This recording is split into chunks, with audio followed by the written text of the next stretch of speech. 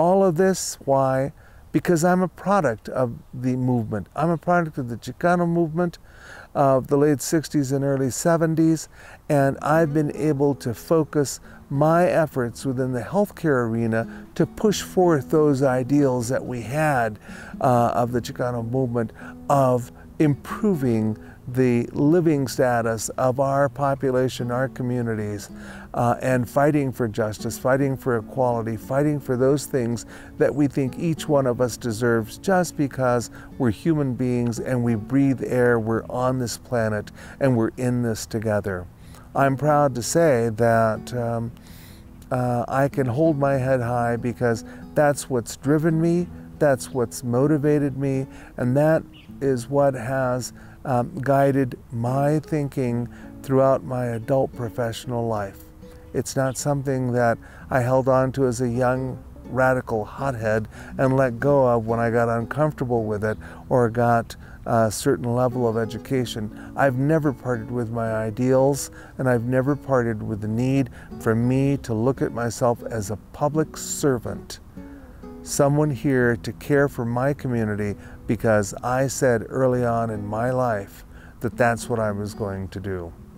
The Salud Family Health Center has allowed me to do that and to make contributions as it allows anyone that works with the health center system and movement to be able to do those things.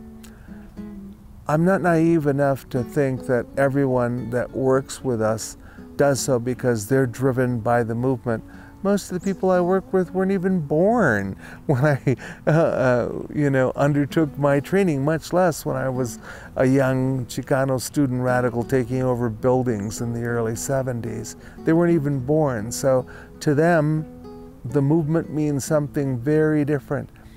That doesn't matter. If we can teach the ideals of justice, of equality, of being egalitarian, that's why we started the movement. That's what it was all about. And we must continue that, whether it is I or now in this particular case, I handing off the torch to that next generation or generations, uh, and realizing that if each of us makes his or her contribution, we will be successful. We'll be successful as a people, we'll be successful as an individual, we'll be successful as a movement. I remember when I was at Valdez Elementary and I was running a school-based clinic for Denver Health there.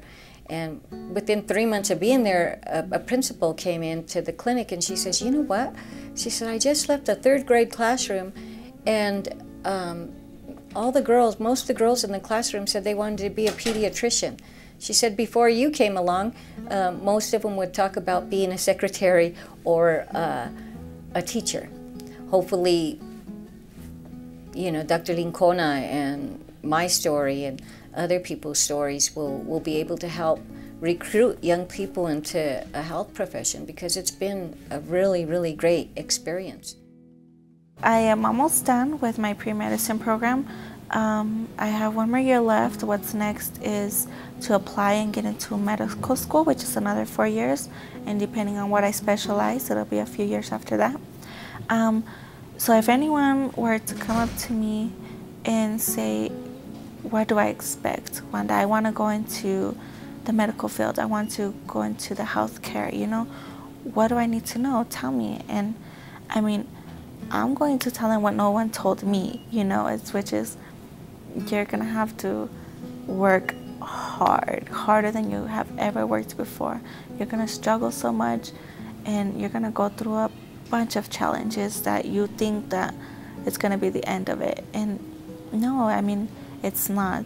There's going to be times where you're going to be discriminated against for not completely knowing English all the way, I guess you could say, or just because of the language barriers, you know, or because you're um, a Latina or Latino, Mexican American, or whatever.